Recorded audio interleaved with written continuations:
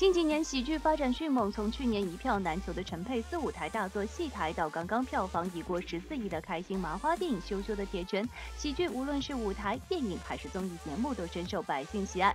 而上海是一座有着喜剧基因的城市，不仅拥有海派独角戏、上海滑稽戏等与生俱来的喜剧基因，其兼容并包的性格也为国际喜剧门类流入中国提供了优质土壤，理应成为喜剧的重要文化码头。今年上海国际喜剧节将深化与蒙特。利尔、墨尔本两大喜剧节的合作，借助国际经验来打造上海喜剧产业高地。十月十日，二零一七第三届上海国际喜剧节新发布会在上海隆重举行。舞台剧《纸飞机的天空》的演员们也都齐齐现身助阵。欧阳震华与万绮雯的合体亮相也是让大伙儿眼前一亮。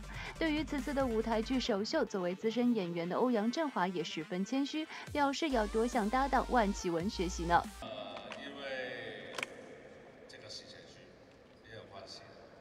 加上，哎，我跟万绮雯呢，在香港已经合作过，现在舞台剧他是我的前辈。啊，你你是说你是因为我所以演那个戏？你你看我的戏长大，我也看你的舞台剧。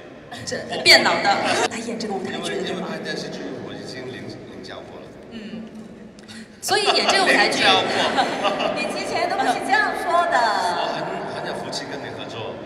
这一期舞台剧，我也是跟你学一学。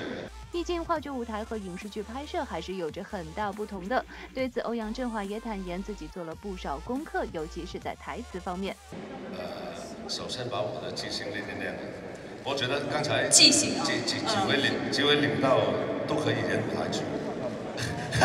刚才说那么长的台词。脱稿。对呀，他们的记性特别好啊，真的太好太好。好棒好棒你花了多长时间背这个台词啊？我啊，哎呀，我我们很要，我们一个人练台词很难的。如如果我们一起背台戏，演戏要有对手，啊，对。看来欧阳震华老师和有经验的万绮雯老师合作的很顺利嘛，相信这部舞台剧一定会让大家满意的。听，这说着说着，万绮雯也当即表态想做续集了呢。这套戏是第一季，那我们想把舞台剧做成美剧一样。会有第一、第二季、第三季、第四季一直演下去，然后我们还把我们那个戏改了另外一个名字，就叫文艺喜剧，就是说在幽默的背后有温情。除了欧阳震华在上海的舞台剧首秀《纸飞机的天空》外，易中天的首部话剧《模范监狱》也都齐聚本届戏剧节。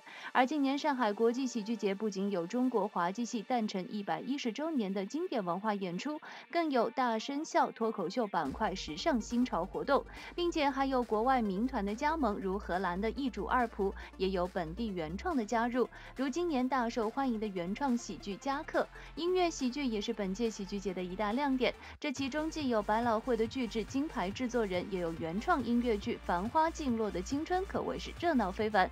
希望大家的生活都像喜剧一般充满欢笑哦。上海报道。